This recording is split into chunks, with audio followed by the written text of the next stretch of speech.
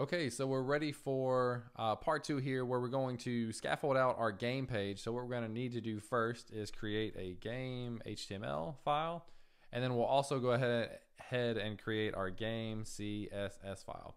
So in game, uh, we can do kind of the same thing we did with our index one, uh, use this Emmet abbreviation to get uh, scaffolding, and then we can call this uh, quick, yeah, quick quiz, and then just call this play, I guess, something like that.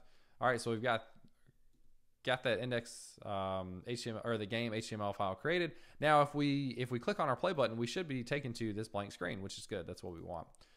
So uh, in here, everything, every one of our pages is gonna uh, be inside of a container, and then we'll have then we'll have an ID of game, and then a class of justify center and uh, flex column. So these are uh, two of the ones that we saw in the last one as well. And then just inside of here, I'm going to have an H2, and this is going to be our question.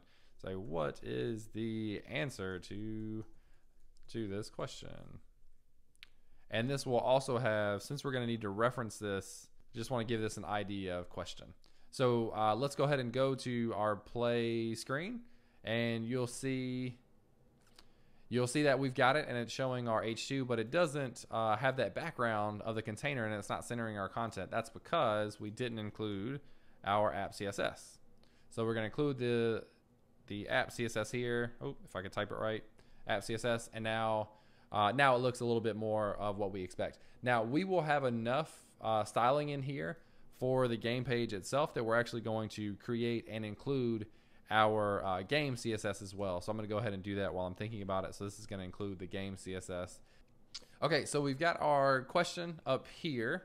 And now we're going to need uh, four different uh, answer choices. So what I'm going to do, and, and this will become a little bit more apparent as we style it, I'm going to start with a class of choice container. Now this is going to be the overall uh, container for our choice obviously, pretty self-explanatory. And then inside of that, we're going to have a p tag with a class of choice prefix, and the prefix is basically going to be A, B, C, or D. All right, so this one, this first one's going to be A, and we're also going to have a p tag with a class of choice text. So this is going to be choice one. So look at this. It should show up here really tiny, actually, which is fine. We'll come back and style that. And we're going to need four different ones of this. So one, two, three, four. It's just copy and pasting that. So uh, this will be choice two, and it'll be uh, B, and then we'll have C, and choice three, and then D will be choice four. So now if you save this, this is the this is the overall layout for our choices. All right, so now we're gonna go ahead and style this stuff since we already have it all laid out. So we're gonna start with our choice container and we want this to be a display of flex again. We're going to set some margin on the bottom between the between the different uh, answer choices, which will be 0.5 rem. Uh, we want uh, this to take up the entire width, so we're going to make this uh, width of 100%. The font size will be 1.8 rem. And then uh, we're going to give it a border, so a 0.1 rem solid, and then we'll use an RGB here so that we can uh, do some transparency in the end. So this is going to be 86, 165, 235, and then an opacity of 0.25. So it'll just make it a really subtle, uh, really subtle color for us. And then the last thing is the background color will be white. So you can see it's got the background color white. It's got the uh, border. It doesn't have any padding or anything. So the way we're going to do this is these individual items inside of here will have uh, have their own padding. And this is so that if you look at uh, this, notice that uh, the blue color fills up the entire box here. So this is why we're going to have this inner element at its own padding instead of padding on the container itself. Hope that makes sense. So uh, to do that, we're going to do our choice prefix.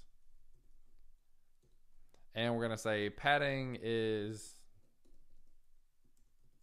1.5 rem on top and bottom, and then uh, 2.5 rem on the uh, sides. And then our background color is going to be our blue color. So 56A, 5EB. I think that's right. And we'll set the color of that text to white. So this should be looking a lot better here. So those are looking good. Now we need to do our choice text.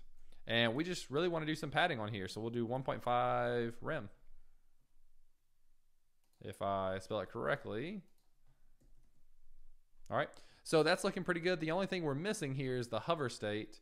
And the hover state is going to be uh, basically exactly what we did with our buttons. Uh, so we're going to do choice container and then hover. And then we're going to say cursor, pointer.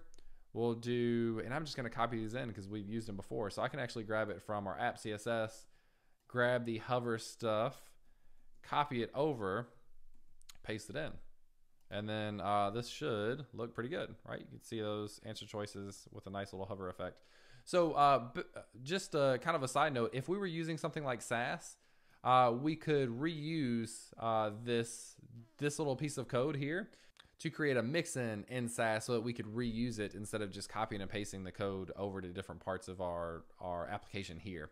Uh, so we're not doing that. So this is kind of where we are. We could do a give each of these each of these things so an extra class and then add the hover state like a, a honestly a hover class maybe or something like that uh, but this is what we got for now which i think is fine because we're, we're only going to use that uh, in those two places which is good.